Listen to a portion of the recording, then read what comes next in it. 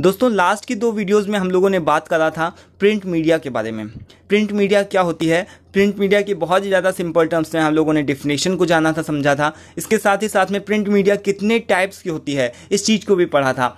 Advantages and disadvantages of print media के बारे में हम लोगों ने पढ़ा था। उसके बाद में नेक्स्ट वीडियो यानी कि प्रीवियस वीडियो में हम लोगों ने ग्रोथ ऑफ़ प्रिंट मीडिया के बारे में पढ़ा था। ठीक है? ग्रोथ ऑफ़ प्रिंट मीडिया यानी कि प्रिंट मीडिया का किस तरीके से डेवलपमेंट हुआ प्रिंट मीडिया की क्या हिस्ट्री रही है, इस चीज़ को भी हम लोगों ने अच्छे तरीके से करअप कर लिया था। और दोस्तों, आज के इस वीडियो में हम लोग बात करने वाले हैं फ़ंक्शंस ऑफ़ प्रिंट मीडिया के बारे में। यानी प्रिंट मीडिया के कौन कौन से फ़ंक्शंस होते हैं? इन सारी चीज़ों को हम लोग पढ़ेंगे, यानी प्रिंट मीडिया के कौन से कार्य होते हैं? मतलब कि कार्य क्या होते हैं प्रिंट मीडिया किस काम में आती है। इन इस सारी चीज़ों को हम लोग पढ़ेंगे। लेकिन वीडियो स्टार्ट करने से पहले मैं आप लोगों से एक बस यही रिक्वेस्ट करना चाहूँगा कि अगर आप भी अपना अच्छी तरीके से सिलेबस मैच कर लीजिए अगर आपके भी सिलेबस में प्रिंट मीडिया से रिलेटेड कोई सा भी टॉपिक है तो प्लीज़ आप लोग सारी वीडियोज़ को एक सीरीज़ में एक लाइन से देखते हुए चलिए जिससे हम लोगों को आ, कोई सी भी प्रॉब्लम ना हो आप लोगों को। ठीक है कोई से भी एग्ज़ाम में कोई सा भी क्वेश्चन आ जाए कोई सी भी अलग से आपको प्रॉब्लम नहीं होनी चाहिए। ठीक है ये कुछ एक अलग अलग वीडियोज़ हैं जिनके ऊपर हम लोग डिस्कस कर रहे हैं। सो फ्रेंड्स एक साथ मेरे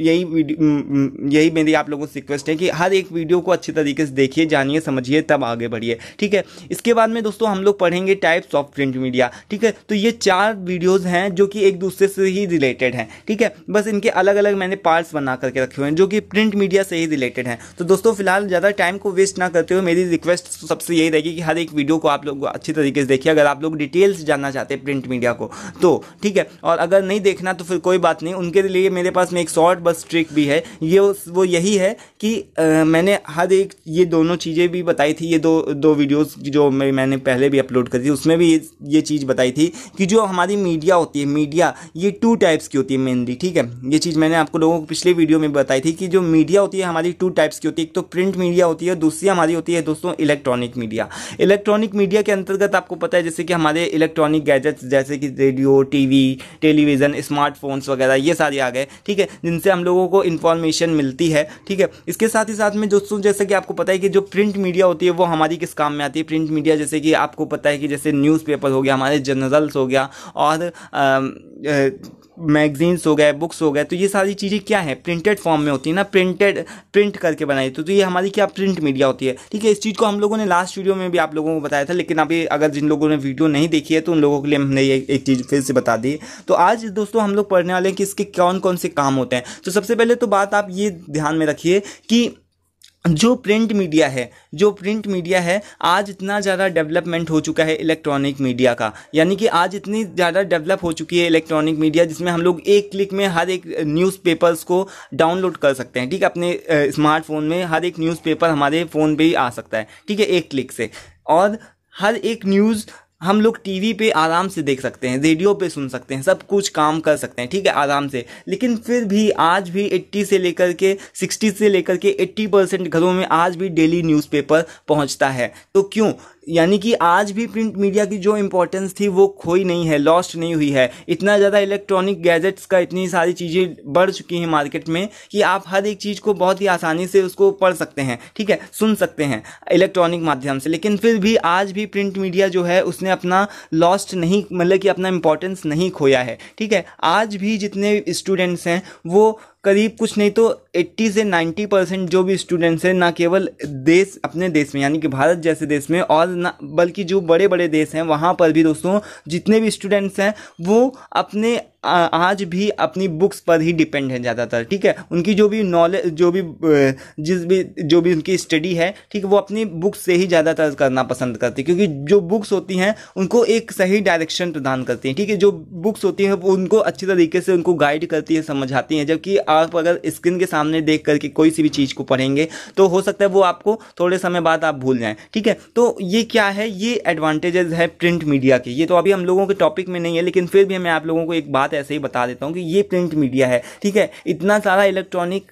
गैजेट्स का डेवलपमेंट होने के बावजूद भी जो प्रिंट मीडिया उसने अपना इंपॉर्टेंस नहीं खोया। एक तो ये बात रही, ठीक है? अब इसका हमारा क्या इंपॉर्टेंस क्या है? यानी कि इसका कौन कौन से काम क्या क्या है? तो यहाँ पर आप देख पा रहे हैं कि जो हमारा फ़र्स्ट पॉइंट है, वो क्या लिखा हुआ है कि सर्कुलेशन ऑफ़ न्यूज़ जो सबसे बड़ा इसका इंपॉर्टेंस है, वो ये है कि ये न्यूज़ का सबसे बड़ी बात की आदान प्रदान करती है, यानी प्रचार प्रसार करती है। आपको पता है कि अगर आप किसी भी चीज़ को डिटेल से पढ़ना चाहते हैं डिटेल से समझना चाहते हैं तो आपको प्रिंट मीडिया के पास में ही जाना पड़ेगा। तो यहाँ पर देखिए क्या लिखा है कि one of the leading function of the print media is to provide daily news यानी कि डेली न्यूज़पेपर हमारे घरों में आता है। डेली न्यूज़ हमको मिलता है किसके माध्यम से? प्रिंट मीडिया के माध्यम से तो मिलता है, ठीक है? तो टू द पब्लिक उसके बाद में in spite of the electronic media अगर आप देख पाएँ तो यहाँ पर देखिएगा कि इलेक्ट्रॉनिक मीडिया होने के बावजूद भी, ठीक है? In spite of the electronic media the print media has its own importance यानी कि प्रिंट मीडिया की एक अलग अपनी इंपॉर्टेंस है, ठीक है? Those who want to know about those who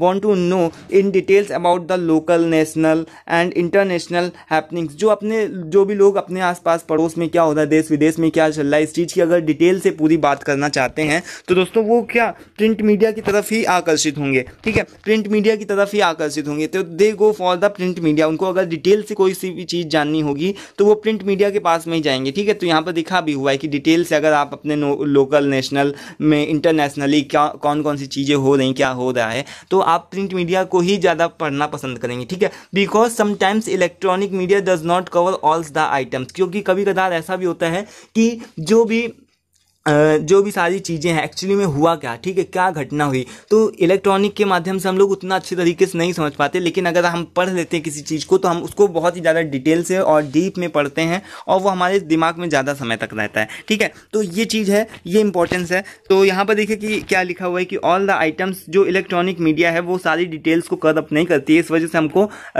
अपना डेली न्यूज़पेपर या फिर प्रिंट मीडिया का सहारा लेना पड़ता है। तो फिर यहाँ पर देखिए कि our morning begins with the reading of a newspaper हमारी जो मॉर्निंग होती है, क्या होती है? न्यूज़पेपर वाला हमारे घर में पेपर डाल जाता है और हम लोग अपना चाय के साथ में जो भी कप ऑफ़ टी यानी कि हम आप लोग, हम लोग अपना चाय के साथ में न्यूज़पेपर को पढ़ना स्टार्ट करते हैं, ठीक है? तो वेदर एट होम और द आउटसाइड होम चाहे हम अपने घर में हो, चाहे कहीं और भी हों तो हम लोगों का सबसे बड़ा जो भारत देश की सबसे बड़ी यही विशेषता है कि सबसे पहले आँख सुबह खुली नहीं, कि सबसे पहले अपना न्यूज़पेपर और चाय की प्याली एक हाथ में होनी चाहिए, ठीक है? तो ये चीज़ क्या है? हमारे यहाँ की एक विशेषता है लोगों की, ऐसा है कि न्यूज़पेपर उनके हाथ में मतलब उन लोगों को इस चीज़ की आदत पड़ चुकी है एक बोले तो। ठीक है? तो यानी कि यही एक सबसे बड़ा न्यूज़पेपर का जो इलेक्ट्रॉनिक जो सॉरी जो प्रिंट मीडिया है उसका सबसे बड़ा काम यही है कि इन्फॉर्मेशन को प्रोवाइड करना। ठीक है? न्यूज़ को प्रोवाइड करना। ठीक है? By the help of newspaper उसके बाद में फिर देखिए यहाँ पर क्या लिखा हुआ है जो सेकेंड पॉइंट है वो हमारा क्या है दोस्तों? कि a watch dog watch dog का मीनिंग मैंने आप लोगों को लास्ट वीडियो में भी बताया था। वॉच डॉग मतलब क्या होता है दोस्तों? पहरी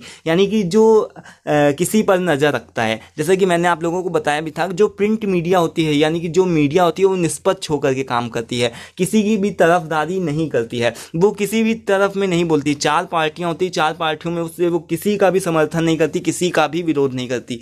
लेकिन जो सही बात होती है, उसी को दिखाती है, जो गलत बात होती है, उसी को बताती है। ठीक है? तो यानी जो प्रिंट मीडिया होती है, वो किसी भी पीपल को मिसगाइड नहीं करती है, किसी का भी समर्थन नहीं करती, एकदम फ्री होकर के वर्क करती उसके ऊपर कोई सा भी रिस्ट्रीन और रिस्ट्रिक्शन मतलब कि कोई सा भी उसके ऊपर दबाव काम नहीं करता है। यानी कि एकदम फ्री होकर के काम करती है तो वो क्या है? एक तरीके की वॉच डॉग है, यानी कि वो क्या? अब गवर्नमेंट जो है, वो सबके ऊपर तो शासन चला लेते हैं, लेकिन जो गवर्नमेंट है, उसको उसको कौन देखे कि भाई? वो वो क्या कर रहा है? ठीक है? तो जो प्रिंट मीडिया होती है, जो मीडिया होती है, वो क्या करती है? गवर्नमेंट के ऊपर भी नज़र रखती है, यानी पहदों की पहदी के समान में वॉच डॉग के तरीके, जैसे कि जो कुत्ता होता है, पालतू कुत्ता होता है, वो क्या करता है? घर की देखभाल करता है ना, एकदम पहदी के तरीके होता है तो वही क्या करता है कि जो प्रिंट, जो मीडिया होती है, वो भी गवर्नमेंट के ऊपर एक तरीके से एक आँखें गड़ाए रहती है पहरी बनी रहती है कि वो क्या कर रहा है, क्या नहीं कर रहा है गवर्नमेंट क्या कर रही है, सही काम कर रही कि गलत काम कर रही ठीक है? और बड़े बड़े जो भी स्टार्स वगैरह होते हैं, उनके ऊपर भी ये सारी चीज़ें लागू होती हैं कि वो लोग क्या कर रहे हैं, उनके साथ में क्या हो रहा है, ठीक है?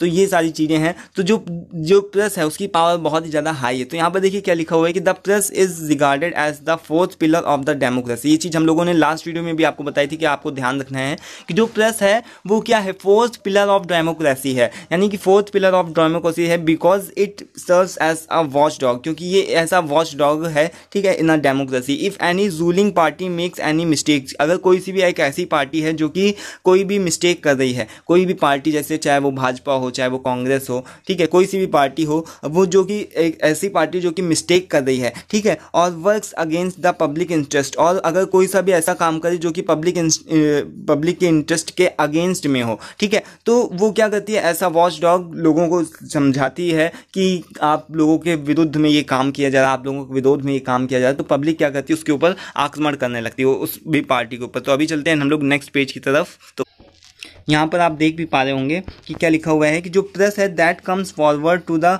criticise and it serves जो जो प्रेस है वो जो भी पार्टी मिस्टेक करे जो भी पार्टी है वो गलत काम करे उसको क्रिटिसाइज करती मतलब क्रिटिसाइज का मतलब क्या? आलोचना उसकी करती है उसका विरोध करती है and serves the interest of the public और पब्लिक के इंटरेस्ट के इंटरेस्ट के में ही काम करती है। ठीक है जो सही बात है होती है उसको ही सही बताती है। सो so, ये एक सबसे बड़ा दूसरा काम है कि जो सबसे बड़ा एक मेन काम था वो क्या है? इन्फॉर्मेशन को प्रोवाइड करना यानी न्यूज़ को एक तो प्रोवाइड करती दूसरा क्या काम करती है? वॉच डॉग यानी कि पहलों के समान में क्या, कौन सही काम कर रहा है, कौन गलत काम कर रहा है, इसका भी देखभाल करती है। उसके बाद जो थर्ड हमारे थर्ड हमारा टॉप पॉइंट है वो क्या है? इसका जो प्रिंट मीडिया का सबसे बड़ा थर्ड पॉइंट क्या है? कि ये एक एडवर्टीजमेंट करती है। यानी कि एडवर्टीजमेंट का मतलब जो आप देखते होंगे कि बहुत सारे, जैसे कि न्यूज़पेपर हैं, उसमें बहुत सारे आपको पता है कि एडवर्टीजमेंट आते हैं। चाहे वो शादी ब्याह से रिलेटेड हों, कि किसी को अपनी लड़के, लड़कियों की शादी करानी है, ठीक है? तो उस तरीके से भी क्लासिफिकेशन आता है। और पता है कि जॉब्स जिन लोगों को चाहिए तो उन लोग भी अपना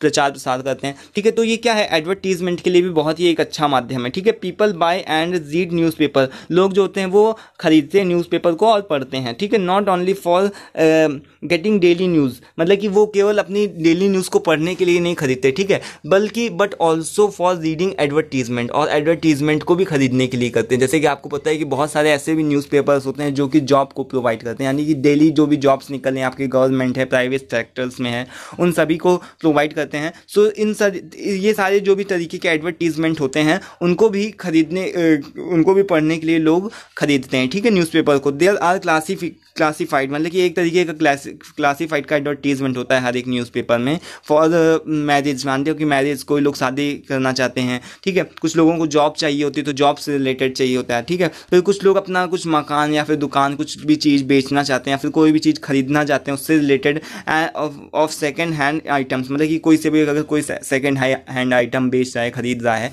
तो उससे रिलेटेड भी आपको भरपूर न्यूज़ जो भी है न्यूज़पेपर्स वगैरह में मिल जाती है। तो ये हमारा थर्ड पॉइंट है, हमको एडवर्टीजमेंट भी मिलती है न्यूज़पेपर के माध्यम से, ठीक है? तो ये प्रिंट मीडिया का ये भी काम है कि हमको एडवर्टीजमेंट प्रोवाइड करता है। फिर यहाँ पर आप देखिए क्या क्या लिखा हुआ है कि इंटरटेनमेंट अब हमको पता है कि जो भी प्रिंट मीडिया है, वो केवल यही सारे काम नहीं करती इन्फॉर्मेशन ही नहीं देती है। केवल दूसरों के दूसरों के ऊपर नज़र ही नहीं रखती है एडवर्टीजमेंट ही नहीं देती है, बल्कि हमारा इंटरटेनमेंट भी करती है। आपको पता है कि बहुत सारे ऐसे न्यूज़पेपर्स होते हैं, जिसमें पजल्स बहुत सारे ऐसी चीज़ें हैं, जो सॉल्व करने के लिए रहती हैं, ठीक है? तो people read newspapers and magazines. अब आपको पता है कि न्यूज़पेपर्स भी लोग पढ़ते हैं और उसके साथ ही साथ में मैगजीन्स भी पढ़ते हैं। मैगजीन्स में भी बहुत सारे अलग अलग तरीके की कॉमिक्स हो गई, ठीक है, चुटकुले वगैरह हो गए। तो लोग इस तरीके की चीज़ों को पढ़ना पसंद करते हैं। Magazines not only for information ये सारी चीज़ें केवल वो इन्फॉर्मेशन गैदर करने के लिए नहीं कर, पढ़ते, ठीक है, खरीदते, बल्कि अपने इंटरटेनमेंट के लिए भी खरीदते हैं, ठीक है? बट ऑल्सो फॉर इंटरटेनमेंट ठीक है?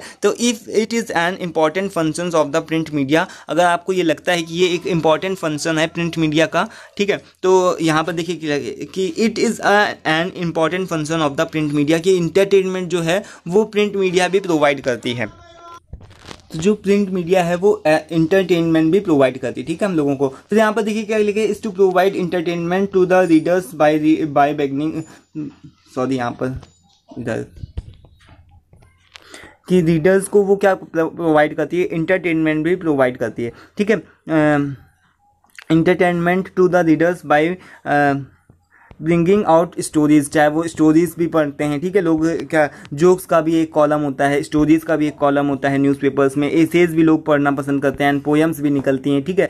और there are many magazines which published only stories for their readers और बहुत सारी ऐसी भी मैगजीन्स हैं जिसमें केवल केवल स्टोरीज ही रहती हैं, ठीक है? तो बहुत सारे लोग ऐसे हैं जो कि प्रिंट मीडिया का उपयोग केवल अपने इंटरटेनमेंट के लिए करते हैं, यानी कि हर एक कोई भी हो, चाहे वो इन्फॉर्मेशन से रिलेटेड हो, कोई ना कोई अपना हर एक जीवन में प्रिंट मीडिया का उपयोग ज़रूर करते हैं, चाहे कुछ कुछ लोग रामायण, महाभारत की जैसे पुराने लोग जैसे होते हैं तो वो पढ़ते हैं, ठीक है? कुरान वगैरह पढ़ते हैं, जो भी है, अपनी बुक्स का हॉली बुक्स पढ़ते हैं। तो ये क्या है, सब प्रिंट मीडिया ही से रिलेटेड तो है, सब चीज़ें प्रिंट मीडिया ही तो हैं, ठीक है? तो क्या प्रिंटेड फॉर्म में जो भी हमारे पास में बुक्स वगैरह तो सारी चीज़ें प्रिंट मीडिया ही हैं, ठीक है? तो हम लोग इस तरीके से प्रिंट मीडिया का बहुत सारे अलग अलग तरीके से उपयोग करते हैं। हम लोगों ने चार पॉइंट के ऊपर डिस्कस किया, जो कि सच में बहुत ही ज़्यादा एक आउटस्टैंडिंग पॉइंट्स हैं, ठीक है? अगर आप इसको सारे पॉइंट्स को ढंग से अच्छी तरीके से पढ़ करके लिख कर के आएँगे तो बहुत ज़्यादा आपको अच्छे नंबर्स मिलने वाले हैं, ऐसा मेरा विश्वास है, क्योंकि बहुत ही अच्छी तरीके से मैंने इसको हर जगह से इसके जो भी इंफॉर्मेशन उसको गैदर करके सारे नोट्स बनाए हैं, लिखा हुआ है आप लोगों के लिए।